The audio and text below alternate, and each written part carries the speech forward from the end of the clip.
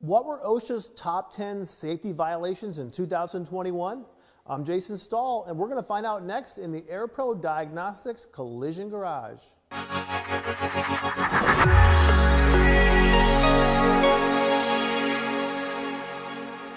When OSHA inspects workplaces around the country, it keeps data on violations found and tracks the most frequently cited standards. The top violations in 2021 include number one, fall protection. This standard relates to the construction industry, but if you look around your shop, you know there are times when workers need to work from height. Does an employee take care of roof maintenance? And are there fall protection measures in place to prevent injury? Other areas to think about are floor holes and platforms that require caution and training. Number two, respiratory protection.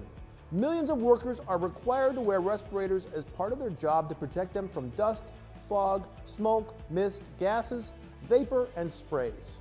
Working without a respirator in the shop can lead to cancer, lung damage, disease, or even death.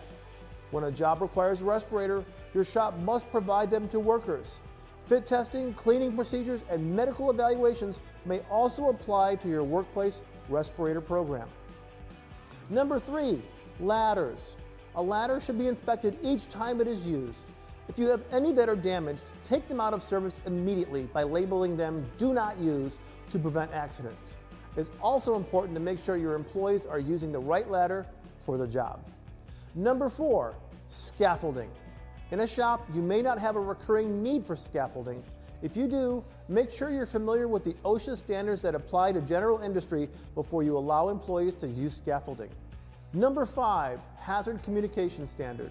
This important standard is applicable to all businesses and involves making sure employees are aware of all chemicals in the workplace.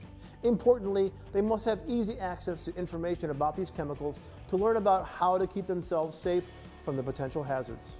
Plus, they must be trained annually on any new chemicals that are brought into the shop or when they have a job change that exposes them to new chemical hazards. This content was based on an article that SP2 wrote for Body Shop Business. For more training guidance from SP2, visit sp2.org. I'm Jason Stahl from the AirPro Diagnostics Collision Garage. Thanks for watching.